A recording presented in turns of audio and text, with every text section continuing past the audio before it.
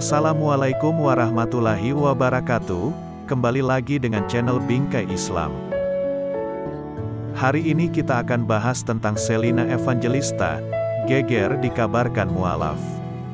Belakangan ini beredar video dan foto Selina Evangelista yang heboh di kalangan publik.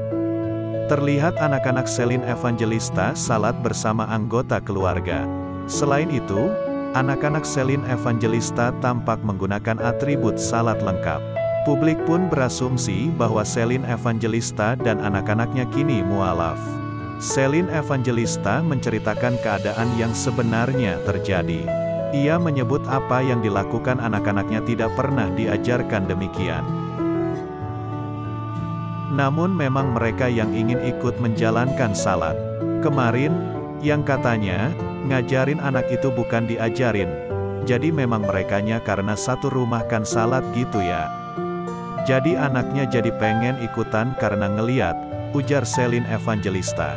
Di gedung Trans TV, Kuasan Transmedia, Jakarta Selatan, baru-baru ini. Selina yang melihat hal tersebut merasa tak masalah. Ia mengaku telah membebaskan anaknya untuk saling menghargai, dan mengenal cara beribadah dalam tiap agama. Kalau laki-laki itu salat pakai sarung, ya mereka itu mau pakai sarung, kayak gitu. Aku mah bebas aja semua diajarin gitu, sambungnya.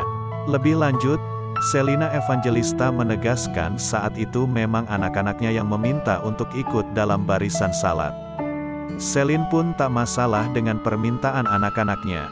Ia bahkan merasa anaknya sangat lucu ketika meminta salat dan menggunakan sarung. Iya karena kebetulan di rumah itu kan emang aku beragam ya, di rumah itu kita saling menghargai jadi lagi pada salat tarawih gitu jadi anak-anak mau ikutan. Ya udah mereka ikutan gitu, lucu aja hehe, lanjut Selin. Diketahui, selama ini kepercayaan Selin Evangelista terus menjadi pertanyaan publik.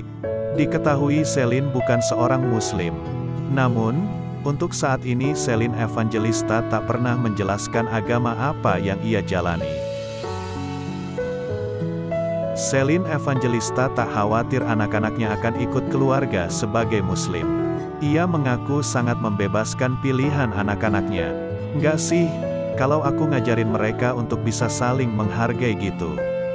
Enggak ada salahnya juga untuk belajar.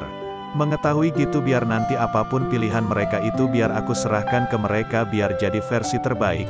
Gitu sih, jelasnya. Selain itu, Selin Evangelista juga mengaku telah mengajarkan anak-anaknya memperbanyak pahala. Perbuatan baik, bersedekah di bulan Ramadan. Tujuannya agar anak-anak Selin Evangelista pun juga lebih dekat dengan Tuhan. Ini kan bulan suci Ramadan jadinya ya banyak-banyak menanam pahala gitu kan.